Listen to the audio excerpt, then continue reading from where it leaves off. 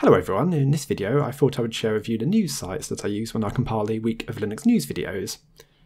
I know there's a few more around the internet, but these are the ones I use most of. OSTechNix, not specifically a news site, they do have some articles on here, but they also do some useful tips and tricks which I post from time to time on my Twitter and Google Plus feeds. Planet Ubuntu, quite a long list of blog posts. Uh, it can be quite interesting to see what is being developed, uh, some interesting applications that are going on at the moment. KDE News. yes, I do specialize a bit in KDE. Well, it is the operating system that I use, so I would rather not try and fudge my way through GNOME too much when I don't use it on a day to day basis. The KDE actually have quite a few pages which I use, so the security advisories doesn't get updated too much, unfortunately. The announcements pages, blog posts, and Planet KDE, which is also like some blog posts as well. But again, this is interesting, like the Planet Ubuntu, you do get to see some aspects of what is being developed and some interesting applications. Planet GNOME, yeah, similar to the other two Planet sites. I don't get so much from this really. Gaming on Linux, uh, although I don't tend to cover too much gaming on my channel, uh, it's sad, really, but I don't think there's quite enough of a market for it.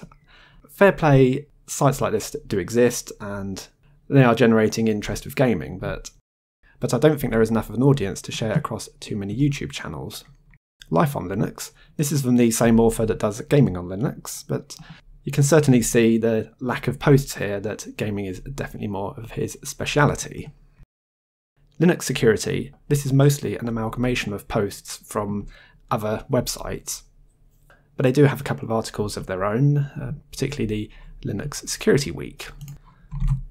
ZDNet, Linux and Open Source section, doesn't get updated too often. It seems like they go through patches. They update a load of articles in one week and then you won't see anything more for quite a few days. Another category on ZDNet specifically for Linux. Softpedia they do quite a lot of Linux news stories. Fair play to them, and it is mostly by Marius Nestor now. Is it mostly or all by Marius Nestor? But I kind of feel lazy if I just sit only on one news site, so I do like to pick and mix really, choose quite a few. Linux Today. This is entirely an amalgamation of posts from other news sites across the internet. You do have to regularly view this site because you get this nice detail only on a day to day basis.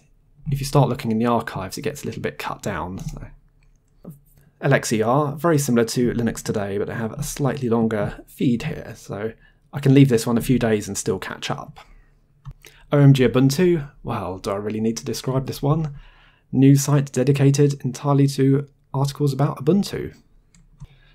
Ubuntu Insights, this is more stories from Canonical, it's kind of a bit of a confusing one to read because they mix up the articles a bit. So, like on Cloud and Server, we have, oh, look, a recent article here. So, kind of scroll down the page a bit more.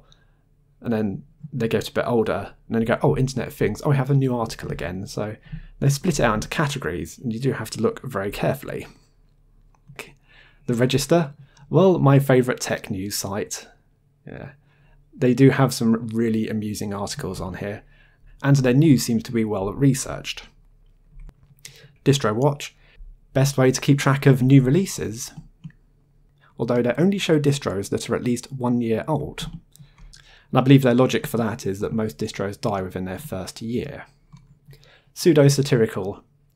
Definitely not a real news site, but there are some damn funny articles on here. Yeah, I've never featured that in my week of Linux news, but maybe one day I will. A subreddit of News of the Stupid this is where I find my stupid news of the week. I'm glad I came across this page because I think it was only a couple of weeks or so ago I actually found it. Before that, I was actually using Google News and trying to sift through articles on there, which was quite long winded.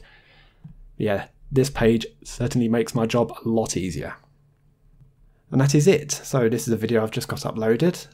And that was the list of news sites that I use. So I'll leave a link in the description to these. Thanks for watching. I'll see you all later.